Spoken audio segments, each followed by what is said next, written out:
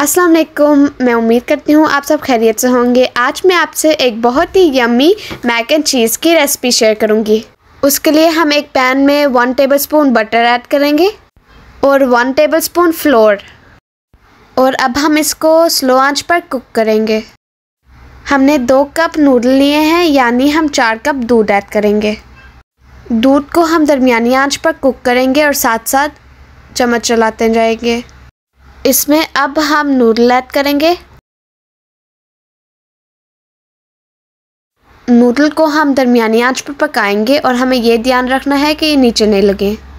Noodle को हमने पहले नहीं उबाला था, हम इसको अब उबालेंगे दूध में।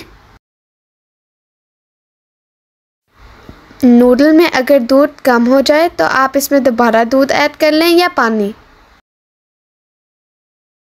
इसमें हम थोड़ी देर बाद चम्मच चलाते जाएँगे ताकि ये नीचे ना लगे।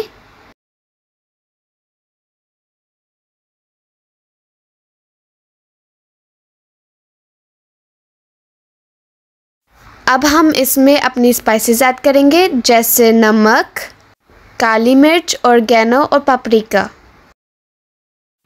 ये सारी स्पाइसेस आप अपने टेस्ट के मुताबिक ऐड कर सकते हैं।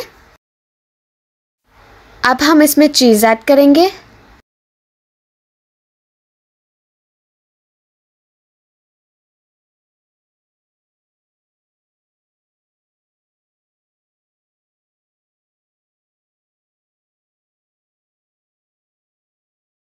हमारी yummy delicious mac and cheese ready है।